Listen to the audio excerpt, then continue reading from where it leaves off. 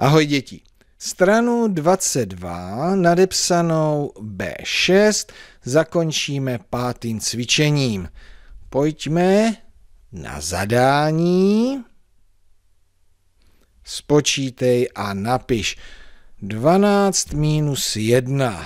No, možná, že jednoduchý příklad a kdo by ještě potřeboval pomoci, tak mu nabídnu takovou možnost, že to může počítat pomocí příkladu, který počítal do deseti. Takže vidíte ho tam? Dvě minus jedna. Je, to bylo dávno, když jsme se tohle učili. Dvě, no a klidně na penězích. Dvě koruny, mám v peněžence něco koupím za jednu korunu, co mi zbyde? Jedna koruna.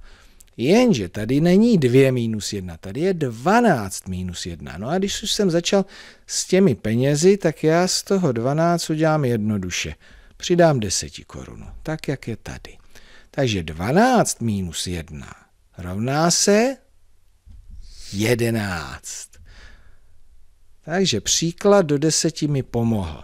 15 minus 3, tohle vypočítejte v hlavě, převeďte to sem rovná se 12. Zvládnete to? Já vám věřím, takže přerušte video, dopočítejte a potom si ukážeme řešení.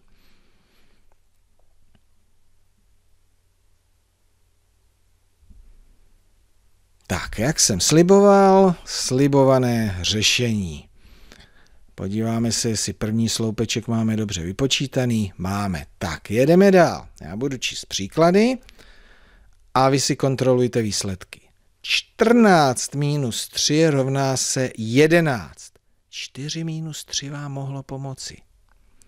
13 minus 3 rovná se 10. Zase 3 minus 3 vám mohlo pomoci. 13 minus 2 rovná se 11. 14 minus 1 rovná se 13.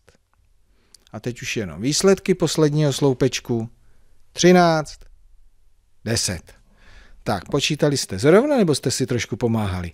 I když jste si trochu pomáhali, nevadí. Důležitý je, že to máte správně.